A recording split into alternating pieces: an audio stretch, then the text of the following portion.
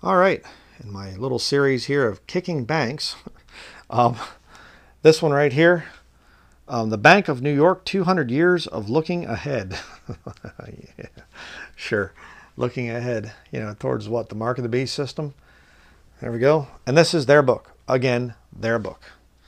Um, not uh, anti-banking book and whatever else commemorating the bicentennial of the founding of the Bank of New York. There you go. An interesting thing here. We'll start out on page six. Uh, let's see. Okay.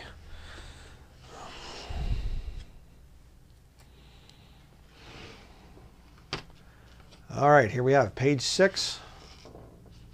Page six. Starting up here, lodging houses and shops lined the lower part before they yielded to fashionable residences closer to Broadway. At the corner of Broad near Alexander Hamilton's home, there's a guy in the whole banking thing, bringing banking, using banking to control America. He was a bad man.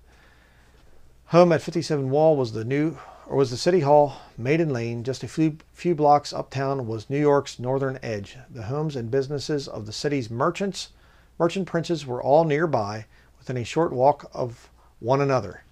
One of the buildings was the Merchants' Coffee House. The gentlemen who met there on February 24, 1784, in response to the notice in the packet, constituted a social uh, register of post revolutionary New York. Merchants and lawyers, they were the backbone of the city's economy, men of property and influence, almost irrelevant now that the war was over and how they had differed in their views toward the mother country. Several, several had clearly been loyalists, openly siding with the British. Others, like Alexander Dougall and Hamilton, Alexander Hamilton, in other words, had fought with Washington's army. Now they found themselves joined in a new common cause, securing the health of the new government and restoring economic vitality. The war's over. Now, how can we make more money? You see? Oh, people had uh, lost a lot of things and whatever else from the war, so um, they're going to need some uh, little bit of financial help. See what they have to say about gold here on page nine. Here's page nine. Common specie of the 1780s. They call gold coin specie. The first notice of the establishment of the Bank of New York stated, quote, the stock to consist of specie only, Specie referred to the foreign coins of gold and silver, which were commonly accepted because of their sound basis in Europe and extensive use in maritime commerce. A representative of common specie of the time is shown on this page. Relative dollar value in the 1780s is shown below. So there you have the Johannes Ducat, Caroline British Guinea, doubloon, and Louis d'Or, however you say it. And there you can see the different types of gold coins on this page, the specie. Because you see, people back then wanted gold. They didn't want paper currency. Hmm. Nothing but gold and silver coin is to be used in public in payments or payment of debts both public and private. That's what the Constitution says. Interesting.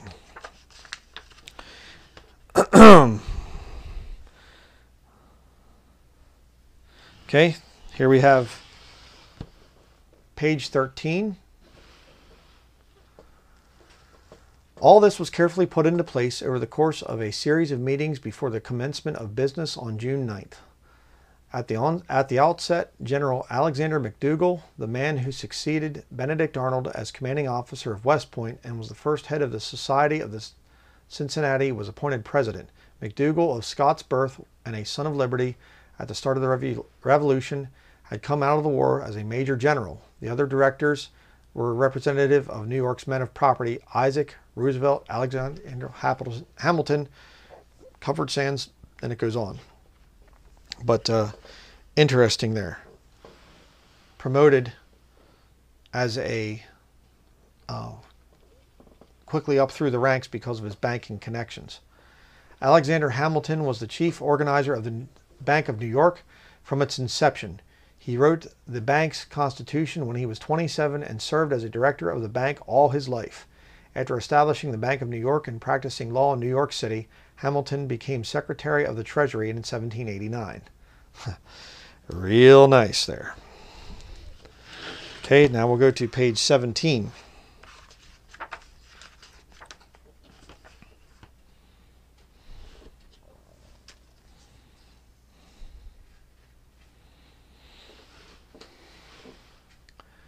Okay, here we have page 17.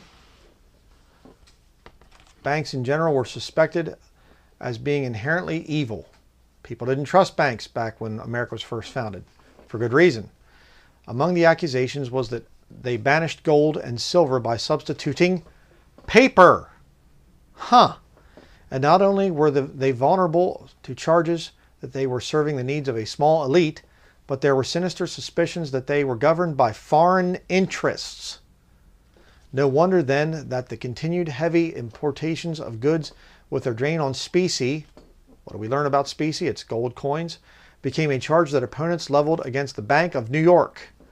With Federalists so prominent among its officers, it was also easy to charge the bank with working in the interest of British capitalists. It was also contended that the bank had destroyed private credit as well, as in the words of a 19th century historian of New York's finances, that confidence, forbearance, and compassion formerly shown by creditors to their debtors, warnings were issued. If their number is not restricted, that banks are permitted in America after the profits they yield are known, we may not alone have one in every state, but also in every county of the different states. Hmm. If we don't stop these banks from growing, they might actually end up in every state and in every county too. How about in every town?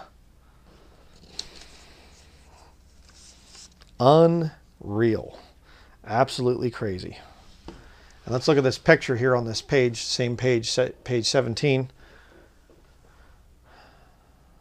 Huh. Mind your business. I guess is what that's supposed to say down here at the bottom, business or something. Hmm. Okay, it says a keg of some 5,000 of these copper cents has been in the vault of the Bank of New York since 1789. The Fugio cent was the first coinage author, authorized by the Congress in 1787. Cents were badly needed at the time, but these minted by a private concern were underweight by government standards and could not be circulated at their intended value. Fugio, meaning I fly in Latin, and the phrase mind your business, an expression of diligence rather than an admonition, surrounded a sundial with the sun and rays above it. The reverse side shows 13 joined rings representing the states, and within is the phrase, We are one United States. See, again, the original intent of America was not to have, you know, the federal government was really not supposed to be there as a controlling thing over all the states. It was supposed to be independent states, much like you have the continent of Africa and the different, you know, there, it's not all just Africa there. No, there are different countries within Africa. Well, our states were to be different, you know, basically different countries. Um, united in the sense of we'll protect each other, but it's not supposed to be all just being told what to do by the federal government. Now, there are some variations between states in terms of law, but the federal government has way too much power right now, especially with the issuance of currency, which we have all become enslaved to, which is a problem. Okay. Um, page 18, let me go there.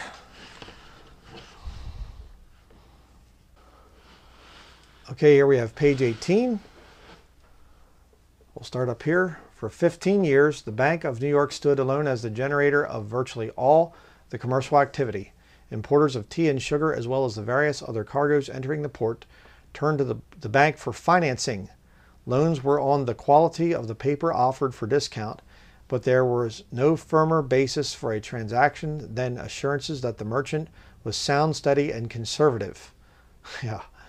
There are no surviving records of the bank's currency issues during this early period, but we do know that General McDougall signed specie notes in 5, 10, 15, 20, 30, 40, 50, and $100 denominations. Again, remember what is specie? It's gold coin. So he's signing notes saying this is backed up by gold coin. Um, the bank also became, along with the Bank of North America, the depository for the first foreign loans made by the United States. So now they're starting to get other people, dollar derived currencies and things. You know, you hear about that. Weaponizing the dollar, getting other countries into debt to the American dollar. So it started way back here, back in the late 1700s. What does that tell you? America, since its very inception, has been plagued with this whole banking scheming things. That's why people were saying it was evil. And they were right. Let's go to page 41 next.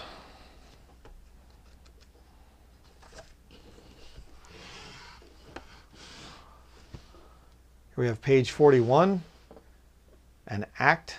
You can see the picture there. And it says here in the caption, on March 9th, 1830, the New York Life Insurance and Trust Company, my uncle used to actually work for them, Uncle Don Rao, um, was incorporated by the state of New York. The document, which reveals the names of so many prominent New Yorkers, including three directors and the president of the Bank of New York, is in the Bank of New York archives. So again, we're seeing how banking and insurance and trust company, how that they're all tied together. Very interesting. Let's go to page 47 next. Actually, remember my uncle um, actually lost a lot of money from my father with his New York life insurance thing uh, during the whole 2008 situation. Lost quite a bit of my father's money that he'd worked hard for. Uh, gambling doesn't always pay. Actually, page 42, I missed that one. Okay, here we're at page 42. The bank, however, could not escape longer range effects. The disruption of a period of considerable pr prosperity it met the crisis by borrowing 112,500 pounds from Morrison, Cryder and Company of London and $100,000 from the Canal Fund, in addition to a call loan of $195,000 from the Washington Insurance Company. Payments of dividends were able to go on. In October of 1836, less than one year after the fire, the directors declared a 10% dividend. Hmm. Up here's a photo I'm going to read. From 1858 until 1875, the New York Clearinghouse operated on the top floor of 48 Wall Street. The room pictured above contained desks for 50 for its 54 members, where clock, clerks and messengers exchanged the previous day's checks and drafts. In other words, the beginning of Wall Street, right here the whole stock market thing. Very interesting. And you say, brother, I don't understand the importance of all this because I'm trying to under, help you to understand that what we have today, it's a scam. This whole thing. America, you know, oh, America was greatly blessed by God and whatever. No, actually, it was not. Um, America was blessed by God by having free speech. That is true. Christians have been able to be here for a long time and not be persecuted. But the prosperity, if you point to prosperity as a way to prove that God blessed this nation, uh, you're very ignorant of history. God didn't bless America through the prosperity. This nation has been overrun by corrupt banking practices since its very inception. Oh, we've gained our independence from London, except in the financial world.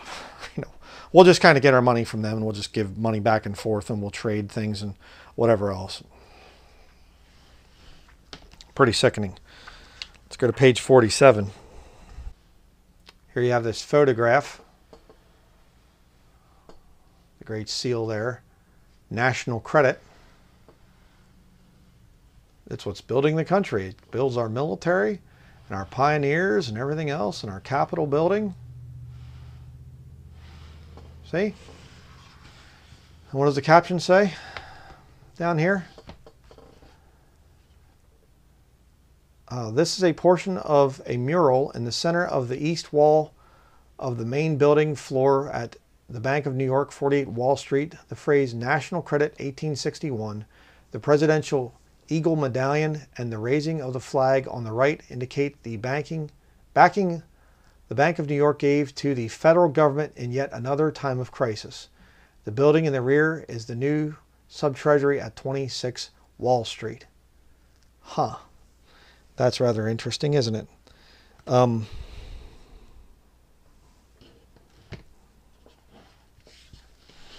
and up here it says um, Mayor Wood's bravado must have been must have had many sympathizers among the city's over 800,000 residents.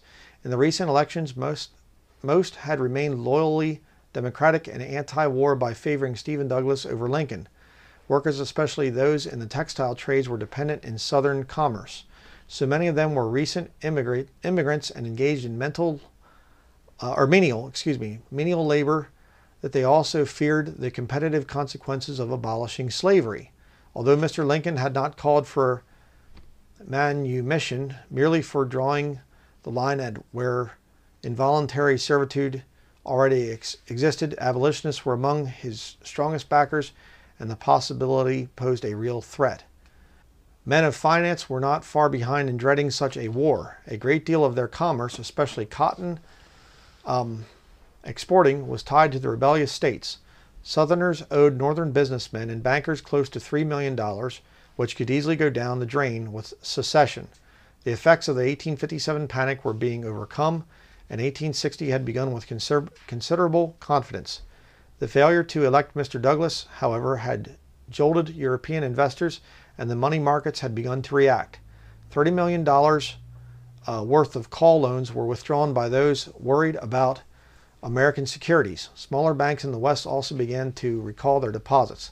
Stock prices were down, going down, and after Lincoln's election, funds were withdrawn at a more rapid pace. At a time of year when banks normally expected credit expansion, they were forced to reduce their loans.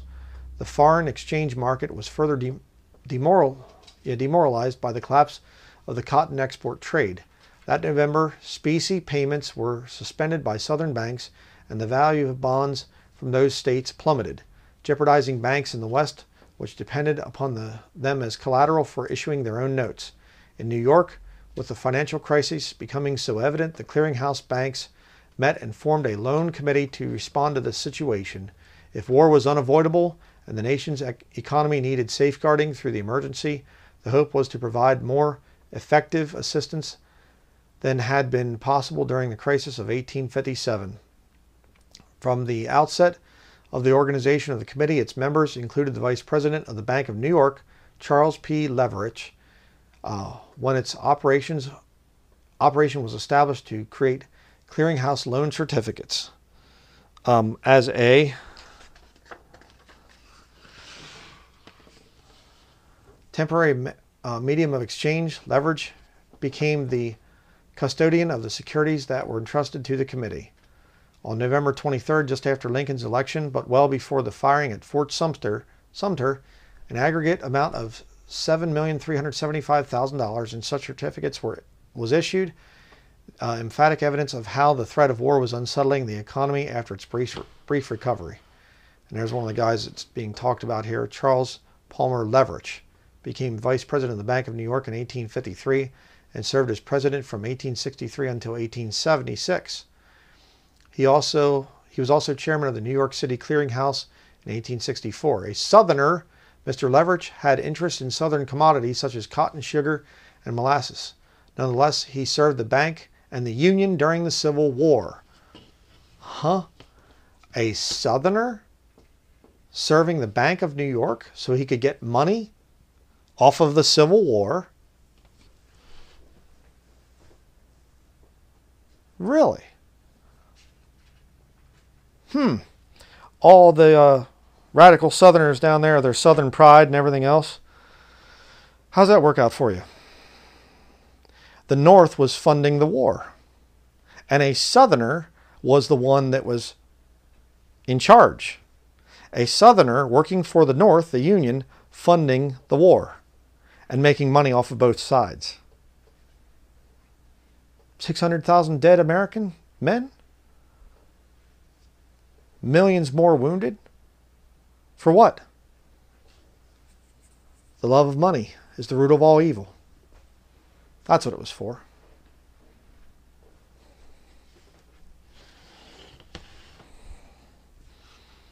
God isn't just in creating a place like hell. It's a terrible thing to think about that a loving God would send a, you know people to a place to burn forever.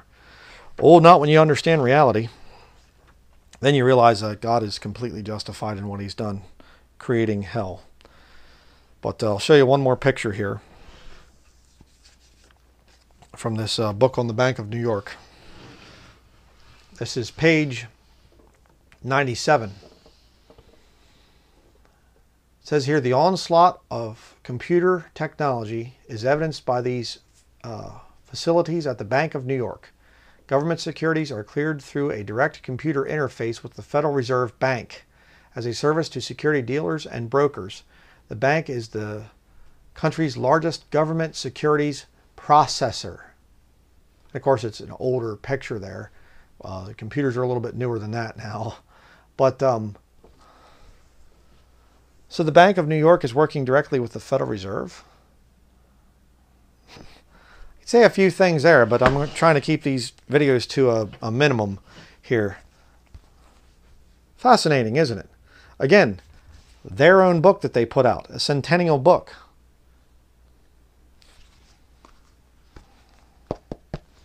Now I know all the other, you know, preachers out there, the pastors of the church buildings and things they've already brought this information out in, you know, whatever. um, the churches won't talk about this stuff. If you haven't figured that out already. Why? Because the churches are corporations. They're there to make money. You know what I mean? That's why they go to the banks and they get out the loan to build the big buildings to get you in to get your 10%. You understand? oh, Denlinger's such a, a, nasty, mean guy and whatever else. Um, I have to be a little bit radical sometimes to get you to understand just how bad things are. Right. I hope that you understand that. So, uh, whew. I mean, again, like I've said, these quotes are coming from my wife, from her research, from her study. I don't, I can't read all these different books and things that she does. Um, but it just it blows my mind. She'll come and she'll read this stuff to me, and I think, what? You know, the the Bank of New York is run by a man from down south that's making money off the slave trade, and he goes up north to finance both sides. what? No, it couldn't be that way. Oh, actually, the bank that he worked for tells you that that's what they did. You've been lied to. You've been deceived. You've been tricked. The world is a far worse place than you realize. You better get saved. You better make sure that your relationship to Jesus Christ is very strong because you live in a very fallen, very sick world. And when the Bible says there's none righteous, no, not one, they're all gone out of the way. There's none that feareth God. They're all turned aside. I saw this thing, this Jewish rabbi the other day. I was doing some research and I watched his video, and and the, the difference between the New Testament and the Old Testament and you know Judaism today, we don't judge people for their sins. We look at God looks at his creation and he loves all of his creation. And there doesn't have to be a mediator between God and man. You can just come right to God, to Hashem. And he wants to have a relationship with you. He loves you. He loves everybody. and I just thought, oh, gag a maggot, you know? I mean, some devil possessed merchant uh, rabbi mingled people Yuden, and he's going to tell me about God and that God doesn't have any wrath. God's not mad or anything, and He just loves everybody. uh, no, there's there's a reason that God created hell. Okay, it's for the devil and his angels, but uh, it's also for the servants of the devil and his angels, the ones that sell their soul for money, and that will do all kinds of things to deceive you, to turn you into their slave, to turn me into their slave. We've been raised in this system of corruption. It's been here for hundreds of years. And now most of us just go, eh, yeah, sure, you know. You go back to the 1600s. Hey, translators of the King James Bible have um, Lancelot Andrewes, I think, was one of the ones, and he can come and, and he says, "Oh, hello," and I say, "Oh, hey, well, it's nice to meet you." You know, hey, uh, let me show you around town here. I'm driving around the vehicle, and and he'd be looking and he'd say, "What's that?" Well, that's a bank. Uh, you know, what's that do? You know, you try to explain it to him and be, that's horrible. You mean people actually would put their money in somebody else's building like that and then the, the building they spend it and they, they do all this stuff to scam people and, and this bank is financing wars and these this the heads of the banks they look at these young men out there playing basketball down at the basket court down the street here a little ways and they look at the young men riding on their bikes and they say the bankers are looking at them guys and they're saying how can we get them killed in war Ooh, yeah oh boy can we start a war Oh, we need a war. I can't wait for another war. Oh boy. That's our world right now. That's how bad things are. Oh, but we don't need Jesus. We don't need God to intervene and stop this madness and whatever else. We'll just trust in evolution, you know. We came from goo, and I guess we're going to return to goo after all the wars. uh, yeah, I think we need the Lord. I think we need the Lord to come back and say, okay, that's enough to all these wicked banksters and everything else. Um, so I hope you've learned some things from these quotes. I know it's really technical stuff, and some of you might be thinking, I don't get it.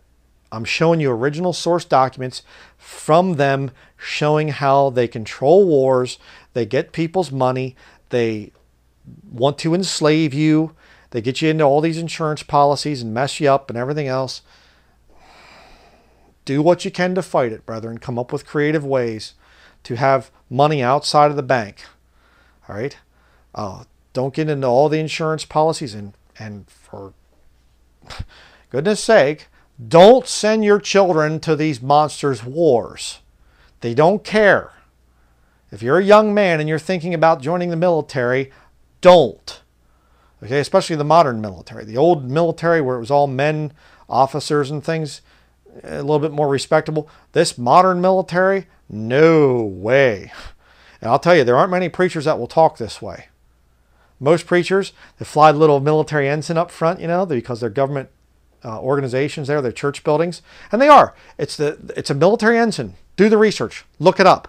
Gold fringe flag with a gold eagle on top is a military flag. They fly them in church buildings. Look them up. I'm not joking. And that's why these pastors are saying, oh, let's, uh, hey, young man so and so here, he's just joined the military and he's going to be going and fighting for our country. Oh, it's wonderful and everything. They're working for the banks. They want you dead. And these hirelings, these ministers of Satan, they're com- completely covering this whole thing up. And if I've done the research, my wife and I done the research, these guys could be doing it too, but they won't do it because they're in the back pocket of the banks and the banksters. Some of them are probably Freemasons as well. That's another thing. So uh, I will do my very best to warn people, no matter what it costs me. And I hope that you take heed to what I'm saying, to what I've showed you from the banker's own documents. That will be it. Thank you very much for watching. Please be careful who you listen to and um, what you're doing with your life.